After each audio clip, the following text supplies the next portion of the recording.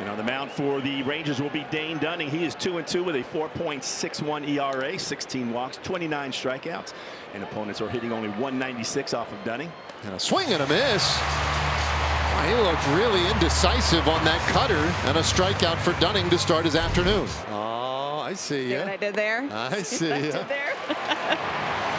There's a strikeout of Fraley to get us going here in the second. Second strikeout for Dane Dunning. Six for eight in the series with a homer yesterday.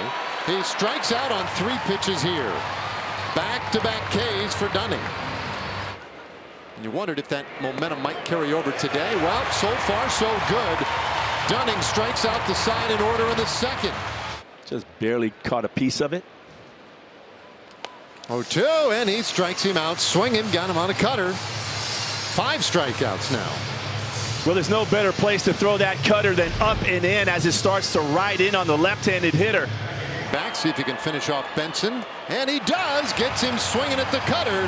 His sixth strikeout today. Boy, that cutter has been so good. We talked about it last inning. He throws it up and in, and there's not a whole lot you can do with that as a hitter. Just every single day working on that.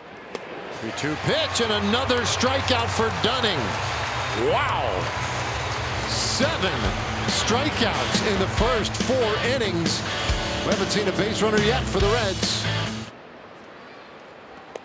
And there he gets another swing and a miss. A strikeout of Fraley is eighth strikeout today. A one-two. And a swing and a miss. He struck him out. Nine strikeouts for Dane Dunning through five shutout innings. Here's 2-2. And a swing and a miss. 10th strikeout for Dunning. Wow, wow, wow.